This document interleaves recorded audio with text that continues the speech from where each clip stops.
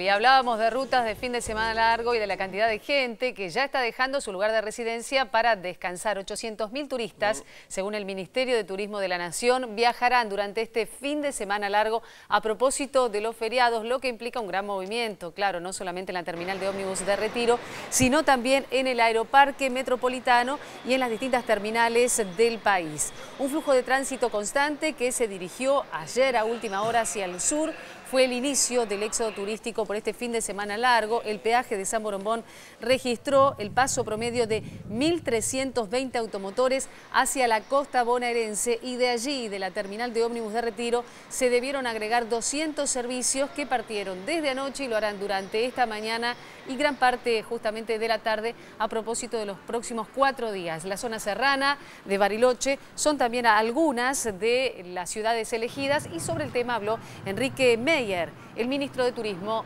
de la Nación. Estamos llegando al, cuatrimestre con un crecimiento en los fines de semana largo del orden del 15% respecto al año pasado.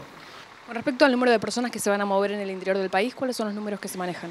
Llegaremos posiblemente a las 800.000 personas. Un muy lindo número.